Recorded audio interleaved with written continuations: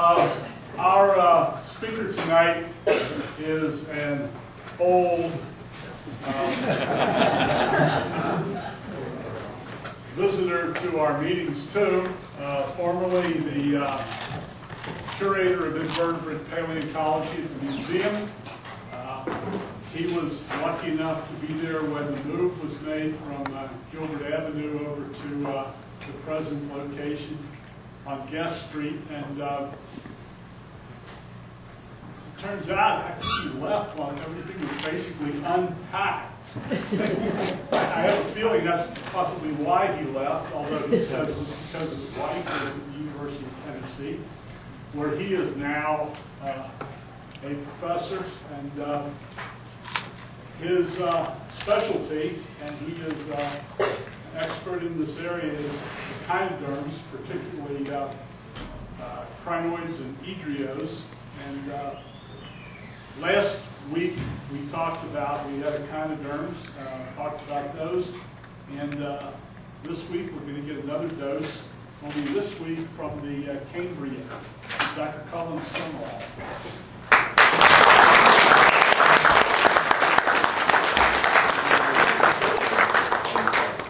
Get it, uh, how do I get it on?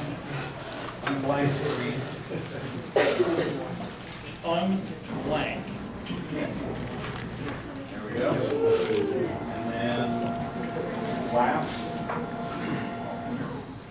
And then project. Now? Project? Now! Hey, life is good. You. I was trying to figure out, wow, this is terrible angle. I was trying to figure out when the last time I was at this meeting was, and I think it was about seven years ago. It doesn't really seem that long. But a lot's happened in the last seven years.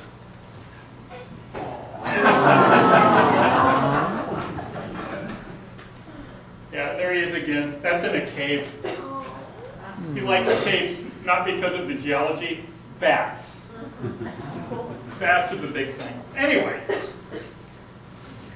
what we're going to talk about today are some new ideas on how internal morphologies of asteroids, which are really not known for most uh, types, are, are rewriting how these groups are related to one another.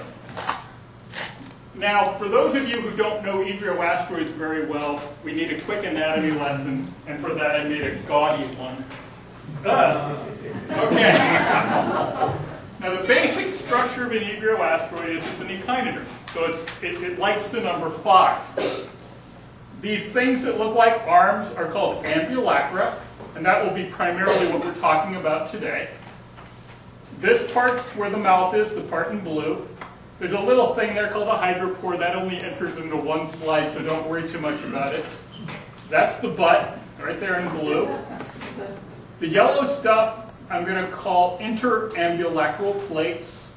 And then there's this green ring around the outside, and that's called a peripheral rim.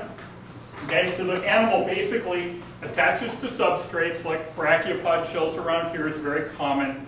Other places, trilobites and hard grounds and what have you. But they're basically an obligate hard substrate encrusting organism. They range in size from, oh, adults of maybe six millimeters all the way up to ones about the size of mayonnaise jar's lids. You don't find those around here. There's a few basic groups of these. This is an Edrioaster They basically look like biscuits. The, the thing that makes them really obvious is the ambulacra are very, very wide. We'll talk about these more in a moment. There are things called edrioblastoids. They look sort of like a crinoid. You chop the top off and glue an edrio to it. That's real. That's not made up. And there's the things that we have around here in abundance, uh, which are sort of a disc with a rim around the outside and generally curving ambulacra, as that specimen shows. And that's my favorite fossil in the whole world. If you want to see it, Brenda will hit me for this, but if you want to see it, Brenda's got it. It's an Edrioasteroid attached to a crinoid stem. It's very cool. Now, the basic fundamental dichotomy in all of Edrioasteroids, and something that's been puzzling for many, many years, is there's two fundamentally different ways that the ambulacra are constructed. In the group called Edrioasterids, the ambulacra are floored by pieces that alternate right and left all the way down. In the group that are called Isorophids, they stack like this. This is called biserial, and this would be uniserial. Okay? In Edrioasterids, there are pores in those flooring plates for little things called tube feet to come out, and in Isorophids, these have not been identified. And in Edrioasterids, these floor plates can be seen from the outside of the animal, where in Isorophids, they are strictly internal. Now, when you're trying to reconcile all these things, what you'll discover is that it, they don't jive with one another. And one of the great questions that I've been addressing is how do we reconcile these differences? So here's an Edrioasterid. It's the same one we saw before. This angle is awesome. Anyway, these are the floor plates you can see on the outside. And these little plates here roof the floor, the floor plates, and those are called the cover plates. If you look here, where the cover plates are stripped away, you see the pores. Okay? So that's the way those are constructed. You note they're really, really wide. Oh, here's a blow up of the same. You see, those are the pores. Okay? So if you chop one of these things in half, that's what they look like. Here's the floor plates in red, and then the cover plates are in blue, and the pore I've just represented by that little line thing. Now in isorophids, it's fundamentally different. The ambulacra are very, very narrow. Note you can't see the floor plates here. All you can see are the cover plates. From the inside, the floor plates are a single uni-series right here. And where they're stripped away, you can see that the, the cover plates extend out quite far beyond them. Okay? So that's what these look like in cross section.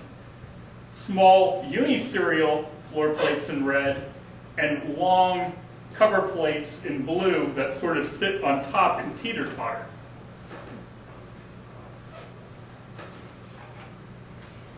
Now, people have batted around a few ideas, and what most people have suggested is some type of a fusion model. Okay, so, so the basic idea here is a primitive Edrioasterid type might look like this.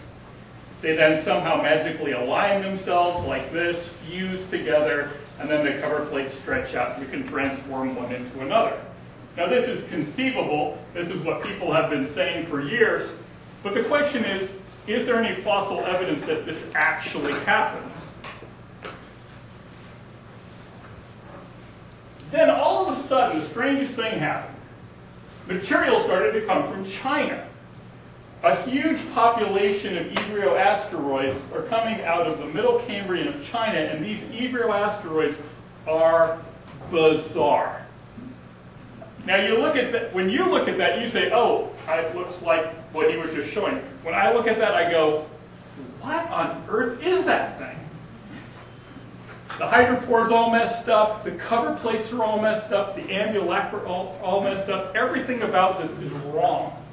But it is still an Edrioasteroid. And there's lots of these things, and they're big too. Some of them are upwards of this size. Wow. All of these things of these are actually not fossils. These are pieces of rubber. They're all cast in latex and then photographed with latex uh, casting. Here's another one. Look at the amazing details here. That's the hydropore and gonopore as separate pyramids. No Edrios have this. This is crazy. You'll have to trust me on that. And that's sort of what the mouth looks like. Just a mess. Okay. Now the other thing that, that moldic fossils give us, that fossils preserved in the normal fashion don't, is we get to see not only the outside but also the inside. Now I just recently had a French colleague come over and visit me, a guy named Bertrand Lefebvre or something. And what, what fascinated him was I was when we brought him to the museum, he wanted to look at Enoploura, and he held it in his hand like this, and he said,